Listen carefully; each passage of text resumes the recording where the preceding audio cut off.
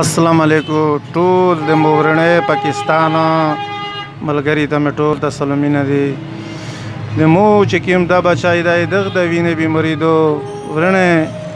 د مجبورې نه زه دا ویډیو کوم سخت نه سخت زه په د سکریم باندې خپه کېږم خو د خپل حلوت د ډېر خښ دی چې چاته پته وي په چا بل بچاوي د ډېر خښ دی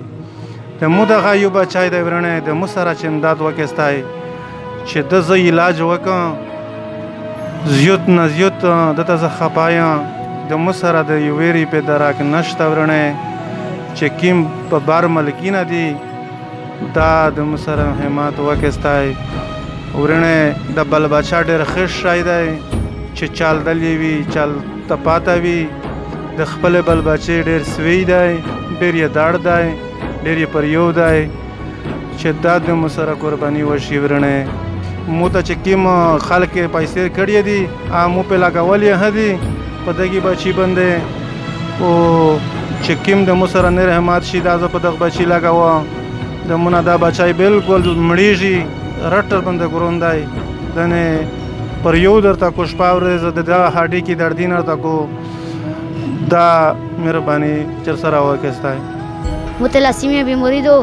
تلاسیمیا دا مې وینه سوځوي ینه مې ډډه شوې دو ټول سره خراب یو ځنه پښه مې درد کو ټول اډی کې مې درد کو ځنه انصاف یې نسته مې ژغلې زتی زو کا چې دی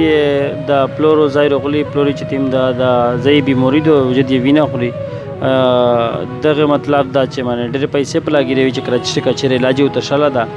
او د ورکه چې تیم کلا وینو څو ته پیران شي به د پښه خو ژړي او تکلیف یو ته تو چې دې سره سمرا مدد کوي شي زه خپل ورونه ته مدد غافل کو چې څه دې سره ډېر مدد کې ځکه دې په تکلیف دي تو چې سمرا واز د کوت خیرات شي تو چې څه د طریقه وي دوی لمبا چې تین دا بسکرین ته چلېږي تو چې د سره ډېر ډېر مدد کې ډېر غوسره کې ځکه چې خپل و چې چا په تکلیف وي دا به ښه پته لګي